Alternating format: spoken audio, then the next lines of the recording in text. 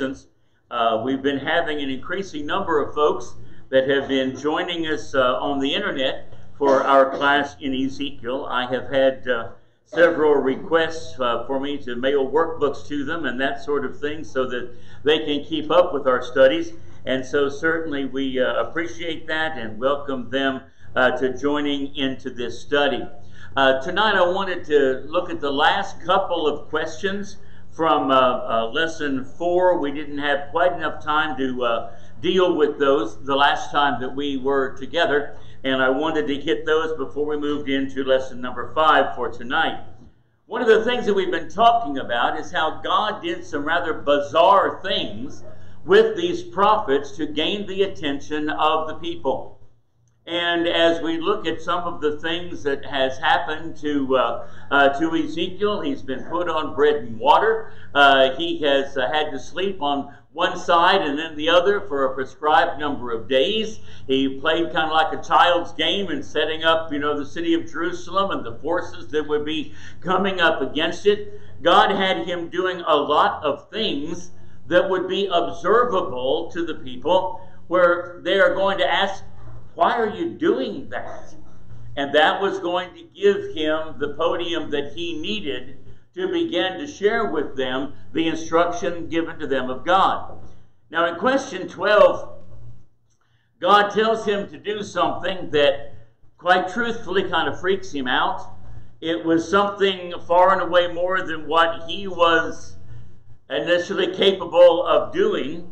It, says uh, in question 12 explain God's command to the prophet to cook his food over excrement and what was the meaning of this symbolic act.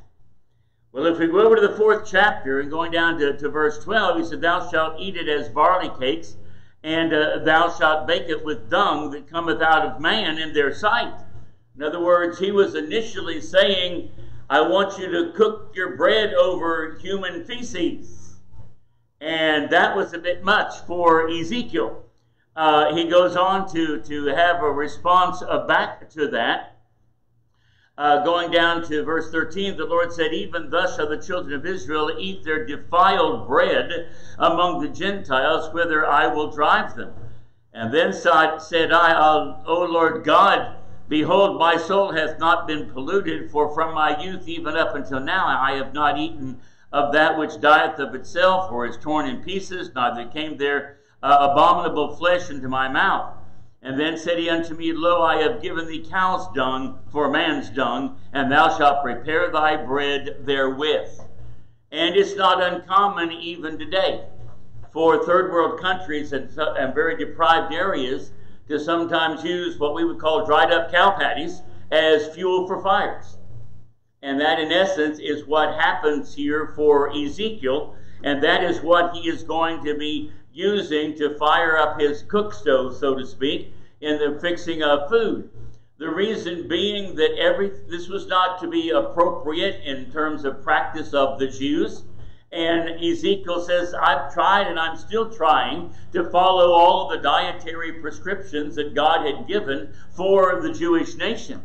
But of course, with them being in captivity, they were going to be in many situations where they were going to be forced to have what would be defiled food, for they had no other choice.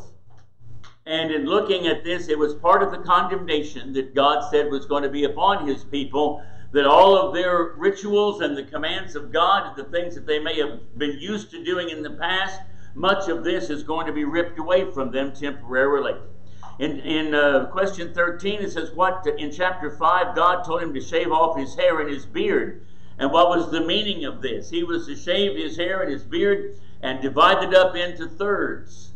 And one third of that was going to represent the people who were going to perish by pestilence and famine. Another third was going to represent those who were going to die by the sword in Jerusalem. And the other third was going to talk about those who were going to be scattered and wound up going uh, uh, to all different locations, some fleeing away from captivity, others being in the captivity, but nonetheless they weren't home. And things were not going to be for them as they were accustomed to. And so then, and finally, in question 14, why did Ezekiel conceal part of the hair in his skirts. In other words, of that third that was going to be scattered, there was a few strands of that that he took and actually hid uh, in his clothing. And that was going to show that even of the third that winds up being dispersed, there would be a very few in comparison, a remnant that would be spared and protected.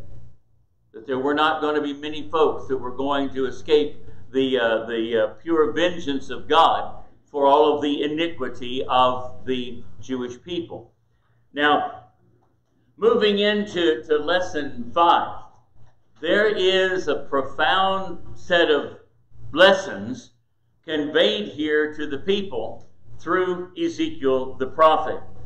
Now, as we talk about the bizarre life that these prophets often were forced to, to live, you know, there were all kinds of things that happened not only to Ezekiel, but to others. If we go over to uh, Isaiah chapter 20, I think it is in verse 30, there was a, verse 3, there was a passage there when God was giving, you know, uh, the explicit detail about the fact that the Egyptians, the nation that Israel kept wanting to build an alliance with, the Egyptians are going to save us and they'll keep us from, from being destroyed by either the Assyrians or the Babylonians or whatever, that we'll trust in Egypt instead of trusting in God. Well, by the time that Isaiah's life has come around to this particular point, the Assyrian Empire is is uh, uh, had its day, and then eventually the Babylonian Empire is going to, to arise. And as a way of showing the fate of the Egyptians, Isaiah is told that he is to walk naked and barefoot for three years. And he said that's what's going to befall the Egyptians. Those people that you think are so great and so rich and so powerful. Um, they're going to be led away captive by others as well. And so, here again, these bizarre behaviors are going to be things that make everyone say, Why? What's that mean? Now, what is the New Testament parallel to that?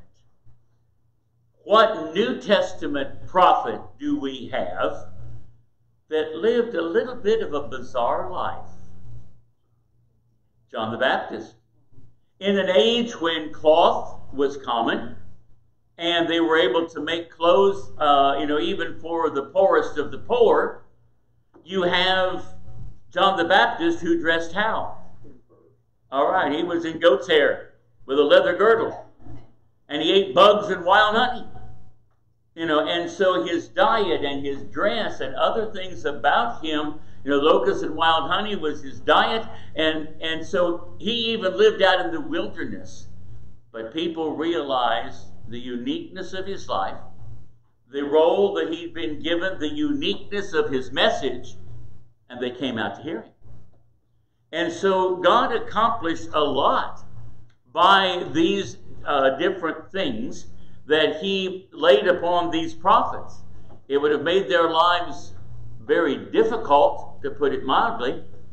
But oftentimes you can stand and talk and stand and talk and stand and talk till you're blue in the face and people just tune you out. But whenever they begin to see the lessons demonstrated in life, it begins to arouse a curiosity. And if you can get that curiosity to be aroused, it often sets the stage for additional study and of being able to explain things from the Word of God.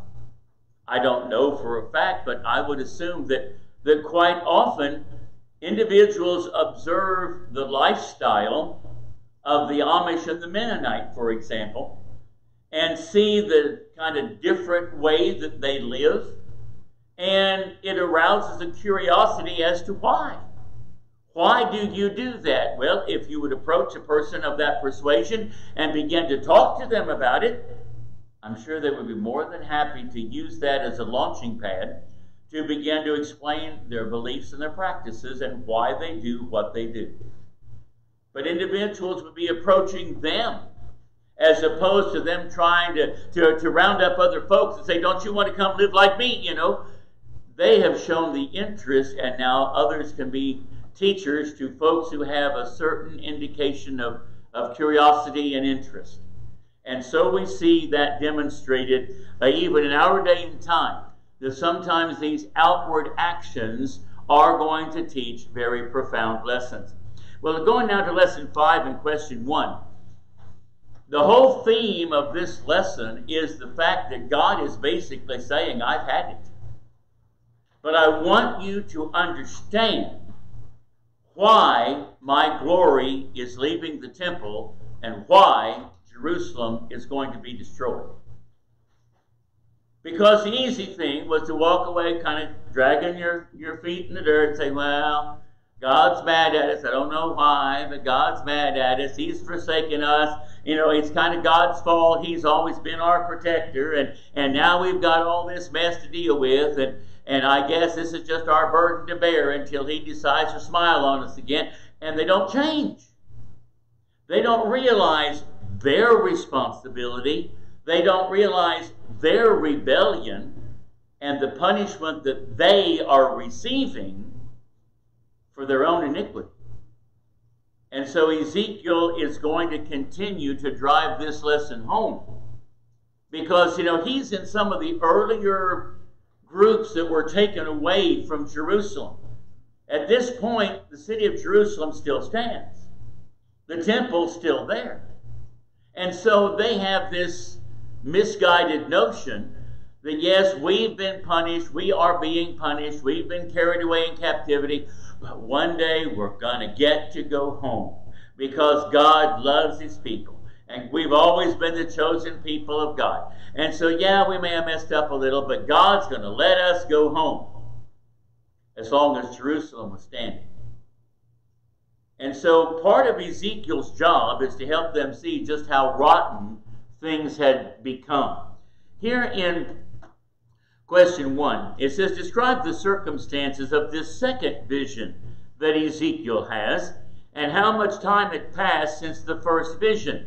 You know, he had this overwhelming vision of God.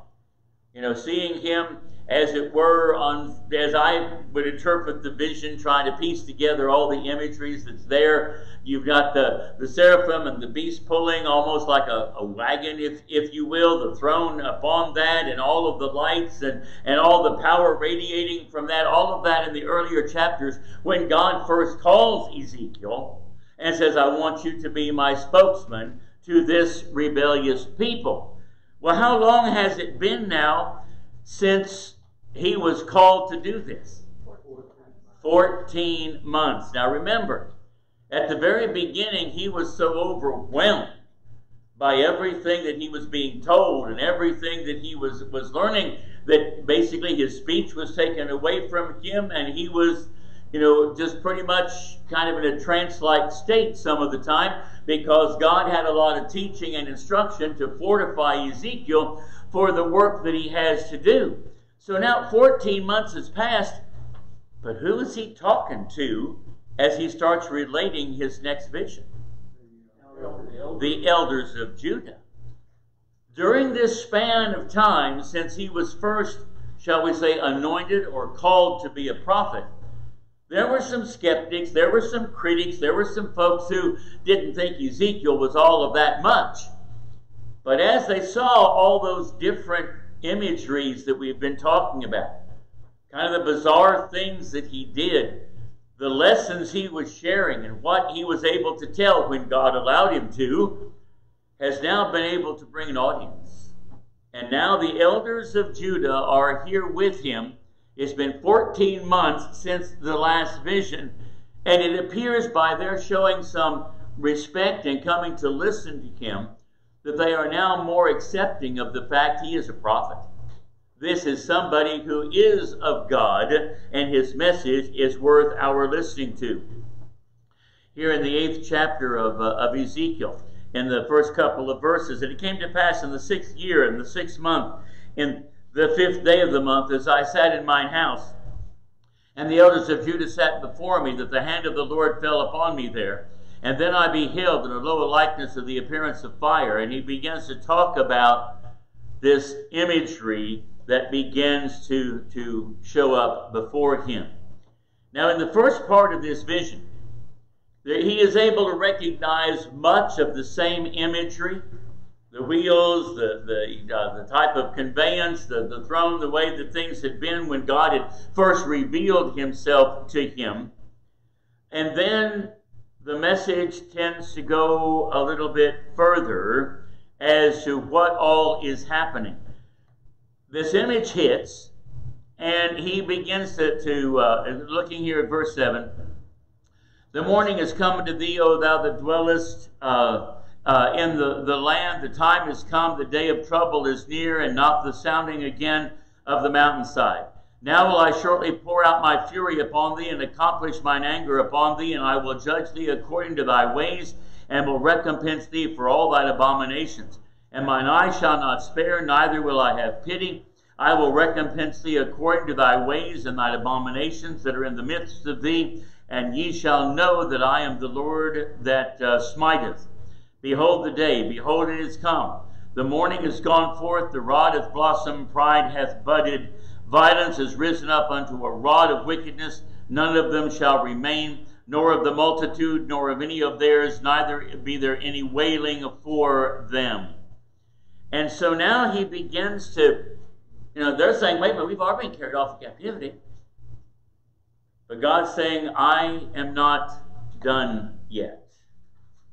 And so that's back in the seventh chapter where I was reading from, moving back over into to, to the eighth chapter where he picks up the things that, that happens in verse 3.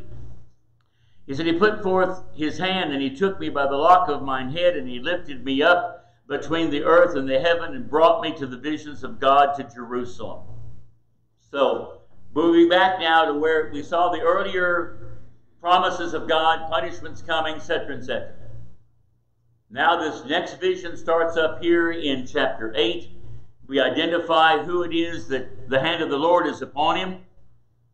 And then he is transported in the Spirit to Jerusalem. And where is he placed?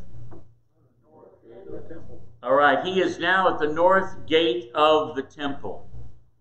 That north gate was a significant spot. Because from the north gate is where you would go to the palace and to the homes of the royalty.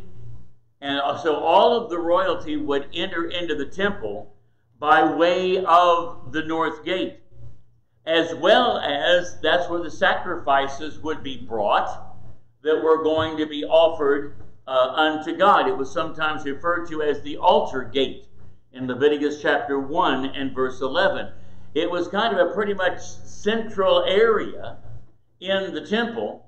And, and this is where this tour for Ezekiel now begins. But as we keep reading here as to what happens, it says in verse 5 Then said he unto me, Son of man, lift up thine eyes, now the way toward the north. So I lifted up mine eyes the way toward the north, and behold, northward at the gate of the altar this image of jealousy was in the entry. What would be that image of jealousy that would be in the entry in question three? It was a wood knot.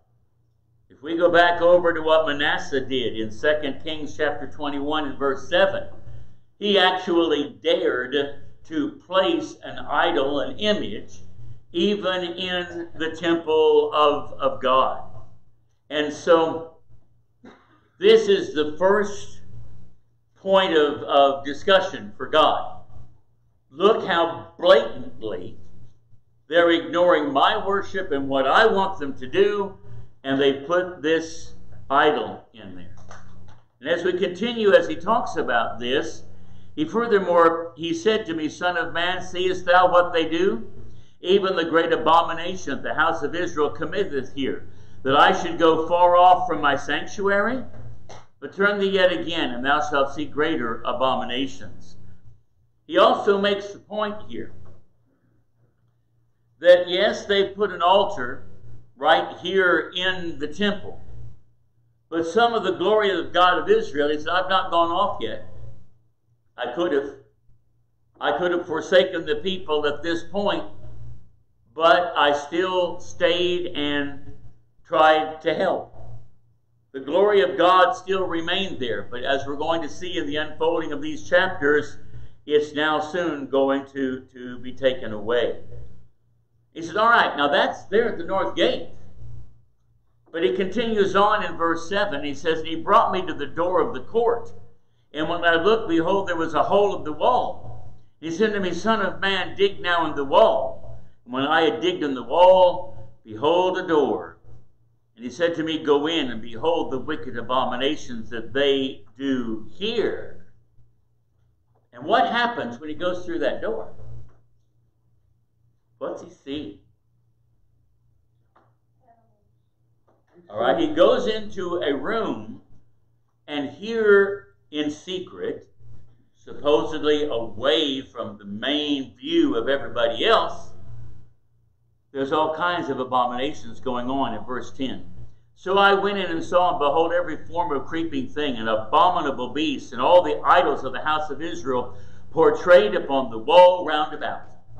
In other words, here they were making images they were painting murals on the wall. It was all of these sort of celebratory things to honor idolatrous gods. And all of the tools that went along with that, the, the animals and things that were not considered, you know, they were unclean under Jewish law, but not by the idols. And so they see all of those things being here as well. And there stood before them seventy men of the ancients of the house of Israel. In the midst of them stood, stood uh, the son of Shaphan, with every man his censer in his hand, and a thick cloud of incense went up. Who's kind of leading the parade here? Some of the leaders of the people. The sons of Shaphan were secretly idol worshippers. And some of these would have been in positions of power even when Josiah was trying to clean house and get idolatry swept out of the land. But they were actually idol worshippers who seemed to think that God would not see all of the iniquity that they were into, which made them extremely corrupt leaders. They were very hypocritical. Maybe during the people, the time when the people would see them, they would appear so righteous and wanting to worship the great God of heaven, and then go home to the idols that they built and to worship even even them.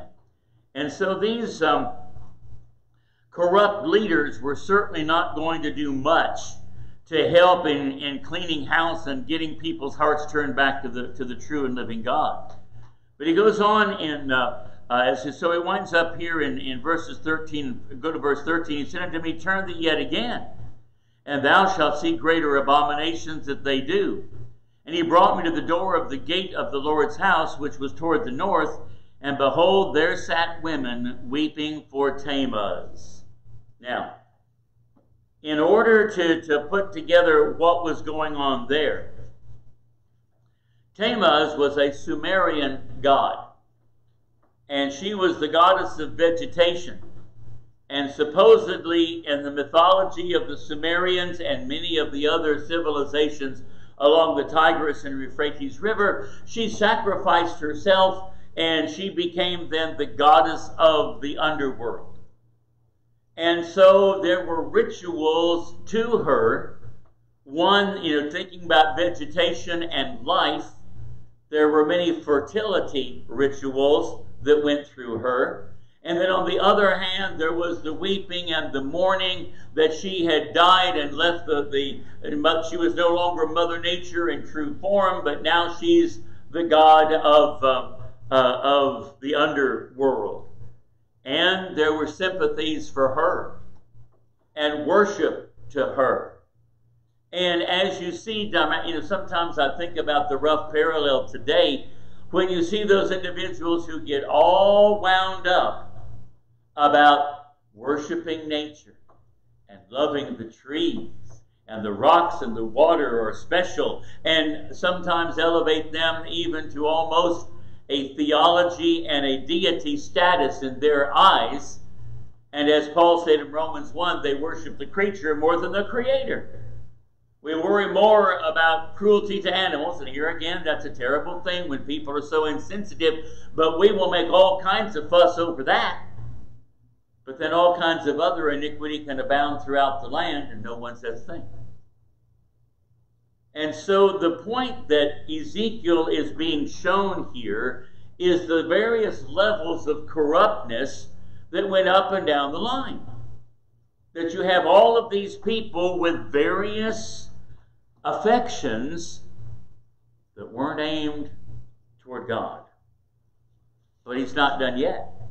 As we go down to verse 16, he says, He brought me into the inner court of the Lord's house, and behold, at the door of the temple of the Lord, between the porch and the altar, were about twenty and five men with their backs toward the temple of the Lord, and their faces toward the east, and they worshiped the sun toward the east. So, whenever we get down to question number six, he highlights that you have these 25 men as a representative number who had, in essence, turned their back on God as far as doing what he had commanded, trying to serve him, that was no big deal. But what did they worship? The sun. Re was the sun god of the Egyptians. That's one of the reasons why in the ten plagues, one of them was a plague of darkness to show that God was greater than these false gods of the Egyptians. But the Egyptians were not the only ones who had a worship for the sun and a whole mythology about the sun being a chariot that goes across the sky every day and how powerful that sun is and how it gives life and, and, and so many other things. Here again, begin to look at the diversity of religious affections. You got some worshiping the sun. You got some worshiping uh, Tammuz. You've got some that's worshiping the idol that's actually set up out in, in the, the main gateway. You have others who are worshiping a host of other idols and performing all kinds of iniquity in secret. This place was rotten to the core. It wasn't just, well, we're kind of not what we need to be, but if we fix just a few little things, we'll be back on track there was a wholesale house cleaning that needed to go on, and that's the point that God is making here to, to uh, Ezekiel.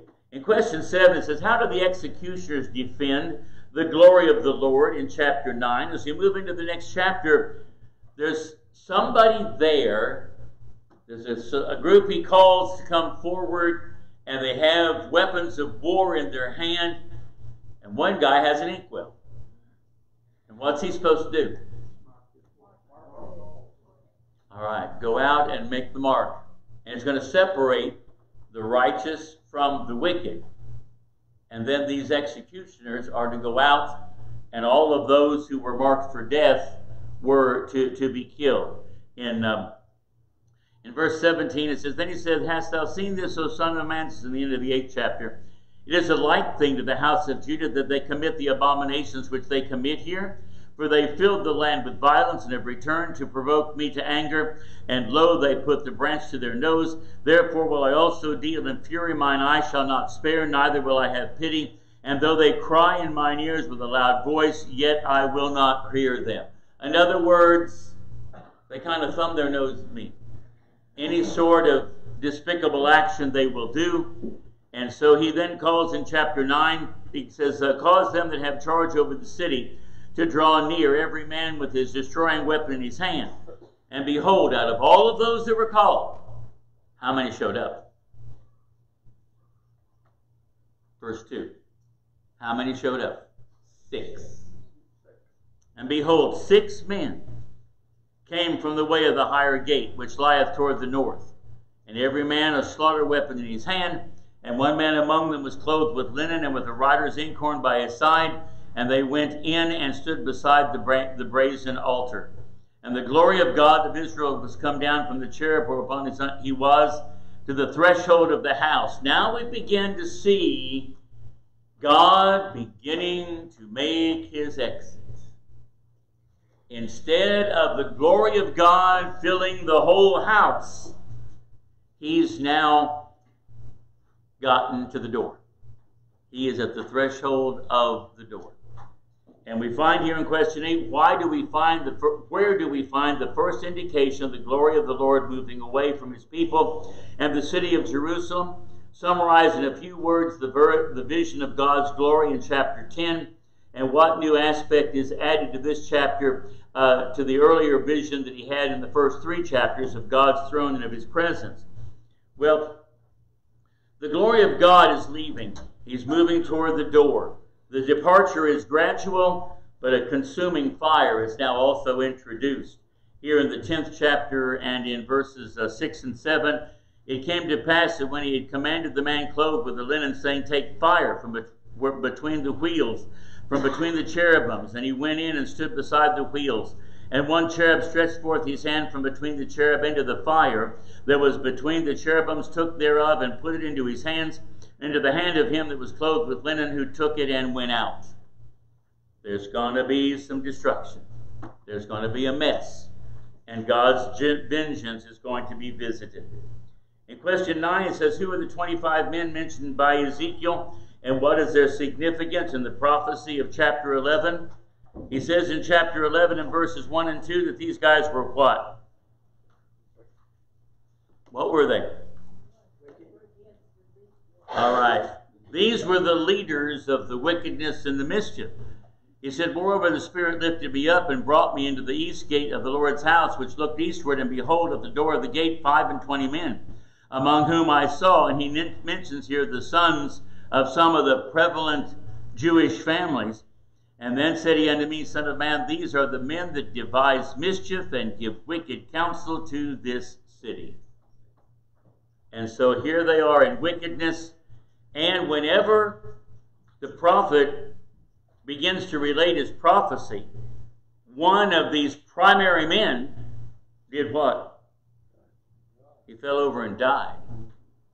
And what's going to be the reality of this is that the news is eventually going to trickle back to the, to the exiles that that guy was alive in Jerusalem, and on the day and time in which Ezekiel relates this, he fell over dead.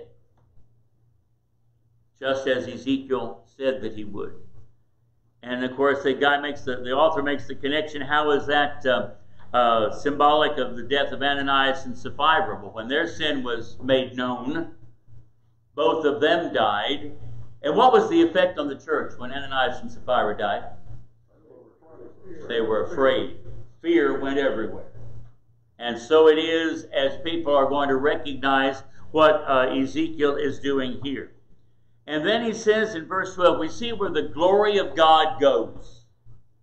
It leaves the temple, but what's the name of the mountain on the east side of the city to which the glory of the Lord resorted when his presence departed from the city? He goes to the Mount of Olives. What notable thing happened at the Mount of Olives in the New Testament setting? All right, Jesus was there frequently. Prayer was offered there. And it culminated with what? That's where the ascension back to heaven took place. As he left the Mount of Olives to go back to heaven. In question 13, what did the little sanctuary in 11, chapter 11 and verse 16 signify? that God was still going to remember the faithful people who served him, though they may be few in number and scattered throughout the world. God was not going to completely forsake his people. So he would continue to help those in some small measure, even after the great temple is gone and things continue to be destroyed in the city of Jerusalem. Any other questions or comments as we wind it up tonight? Okay, I appreciate your comments, appreciate your help with the, the answering of, uh, of those questions. Um, it gets kind of exciting to see the things that unfold here as Ezekiel is helping folks take a good hard look at themselves and to really drop their heads in shame to realize all the iniquity that they, they had sometimes going on right underneath their nose and they didn't pay any attention to it we have the same challenge, maybe even in greater measure, in the day and time in which we live.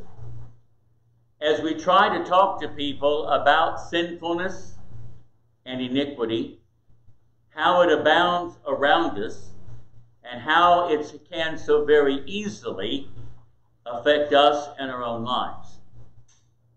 That's why throughout the scriptures, we are told to give diligence to make our calling and election sure. That we've got to just don't pretend everything's fine because I push a couple of good buttons and so that means, you know, I'm halfway to heaven already and all I have to do is die and I'm going to be there because I've done everything I need to do and everything is fine. And yet, there's a lot in our lives that we haven't tended to.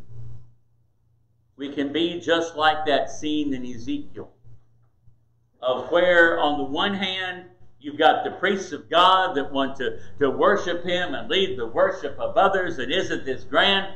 And then they quietly slip back into the shadows and do what they want to do. Things that violate the law of God, going and coming, but they do it anyway. That's why over in 2 Corinthians chapter 11 and going down to verse 5, Paul tells the Corinthians, Examine yourselves whether you be in the faith. Prove your own selves. Know you not your own selves how that Christ Jesus is in you, except you be reprobates. You know, we have an obligation to live as Christians, to understand the things that He taught us, and to live according to those principles. First, He has said all, invited all men to come unto Him, and that involves our listening to what He said for us to do, to believe in Him, and to be baptized. Mark 16, 16 to be baptized for the remission or forgiveness of our sins, Acts 2.38. Because baptism allows us to have that answer of a good conscience toward God. 1 Peter chapter 3 and verse 21. So then we start the journey. Now the Jews started that journey by birthright. If they had the right set of parents, they were Jews, they were in the family of God, and there were lots of blessings that were to go with that. But then look what happened. As they didn't appreciate who they were, they weren't, were not determined to do God's will. And we've been studying tonight all these illustrations of the way in which God was not first in their lives.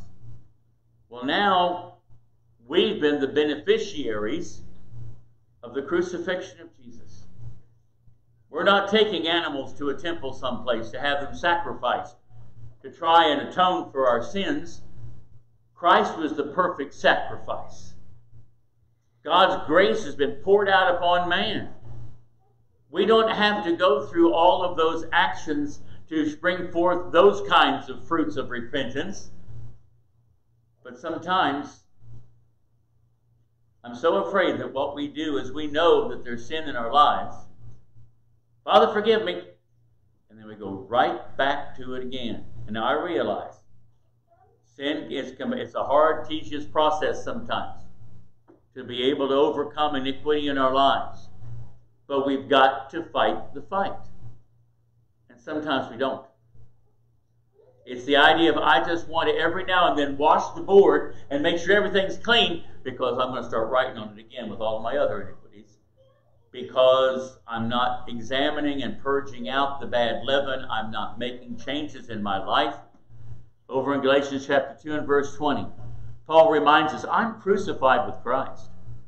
Nevertheless I live, yet not I, but Christ liveth in me. And the life which I now live in the flesh, I live by the faith of the Son of God, who loved me and gave himself for me. If Christ, if Christ truly lives in us, it's going to show by the lifestyle that we live, the choices that we make, and how diligently we try to serve. It's not a halfway kind of thing. It's not kind of like what was going on there at the temple, where sometimes I can get kind of righteous, but then over here I can also be like the whited sepulchres that Jesus called the Pharisees out as being. You're whited sepulchres, you look good on the outside, but inside you're full of dead men's bones. And we can fall into that same trap of giving a certain appearance, but it not being genuine, it not being from the heart. But just as Ezekiel learned, nothing was hidden from God. Those folks who were offering those sacrifices and serving those gods and painting those pictures on the wall seemingly thought they were doing it without God ever having any idea what was going on. But He did. And the Hebrew writer and other writers helped us to understand nothing passes God. So, we extend an invitation when we assemble together to give us all a chance to think about where we stand before God and if there's some steps we need to take to make our lives right in the sight of God. And If there's some way we can help you, we urge you to come. As Together we stand and as we sing. There's a fountain Greetings for you and me. Let us haste all here.